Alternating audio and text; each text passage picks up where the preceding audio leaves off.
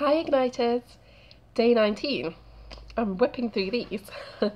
so, today's prompt is let me check my notes. What skill or ability do you get to whip out at work? Um, okay, so when I was younger, I used to love English lessons, specifically poetry.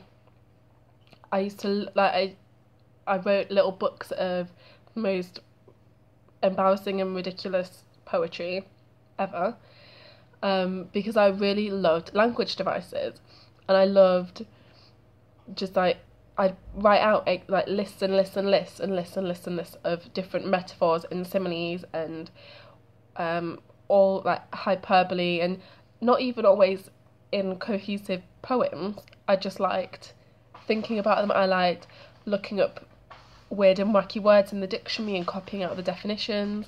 I I mean I used to give myself spelling tests with weird words because the at school spelling tests weren't hard enough.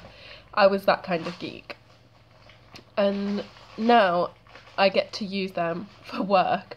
My number one favourite is alliteration. If I can use alliteration in something, I really, really will. And it, it can literally be anything. I will try and weave in that little bit of alliteration. And those language devices that I used to really love playing around with actually make my work more compelling, more effective, more impactful. And that's what my clients want. So it's win win win win. So my skill that I get to weave into my working day is my crazy love of all things literary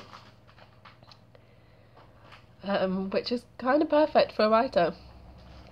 Anyway, I'll be back shortly with video number 20.